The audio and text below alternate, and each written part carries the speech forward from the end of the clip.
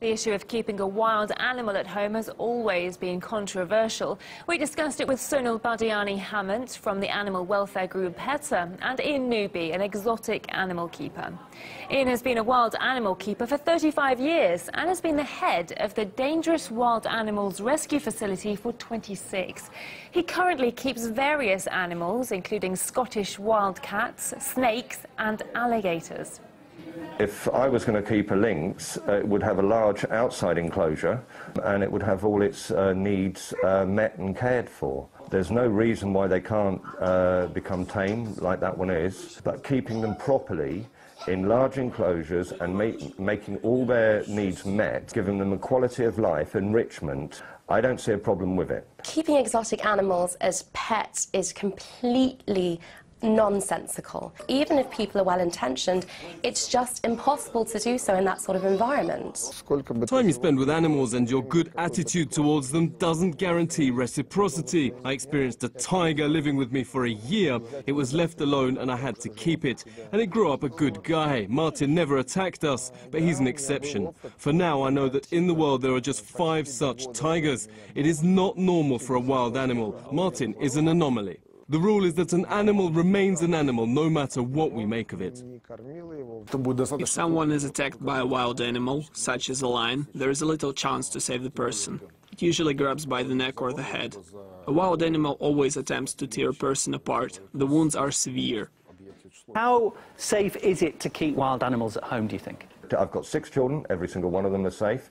They have learnt from uh, day dot to respect the animals that I have here. Um, uh, we've not only got the wild animals, we've got rescued uh, domestic cats, we've got dogs, and they respect all wildlife. Kept a license for 26 years, um, and thank God I've had, I've had no mishaps, everything's been done correctly.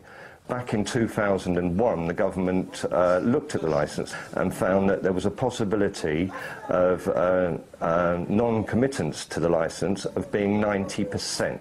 So every 10 people that have a licence in England there's another 90 that have dangerous wild animals that don't have a license, and that is concerning. The licenses are just a piece of paper. That doesn't change anything for the animal. They're still suffering in enclosures and in spaces that are entirely unsuitable for their needs.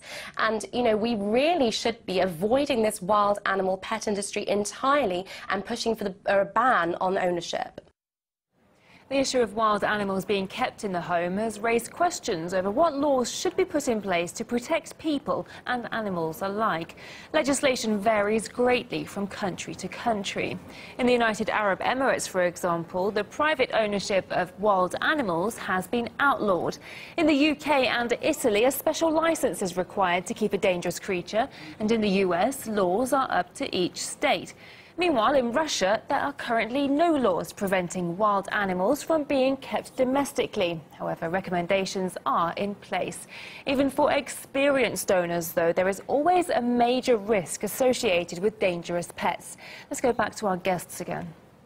We've seen examples, a few high-profile ones, of where uh, animals that, that people thought they'd managed to tame and they found out that they hadn't. There was an example of a pet owner, an Italian lawyer, Sergio Montella, eaten alive by um, a pet lion. There was a horrific example in the Soviet Union of a lion. It had been in movies. It attacked, uh, in the family home where it was being kept, attacked and killed uh, a child there. There's, there's, there's, a list of these such examples. Uh, what do you think about the concept of trying to tame wild animals like this? Of course, we can never tame these natural animals. We might rip them away from their natural habitat. We might force them to live a life of misery and in captivity, but they will always retain their natural instincts. They will always be frustrated at a life in a tiny space compared to what they're used to. I understand that people keep these animals, and in England, we've had the Dangerous Wild Animals uh, Act licence since 1976. That's just over 40 years we've had the licence in place. Now, in the whole of that 40 years' time, there has never ever been a fatality or uh, a bad injury to a member of the public from any of those licensed animals. There has only ever been one death from a licensed animal, and that was back in 2011. Um, and that was a death of a keeper of one of these animals. It was a king cobra. And sadly, the, the guy uh, that had the animal died. He knew the responsibilities of what he was taking on. He was licensed and insured.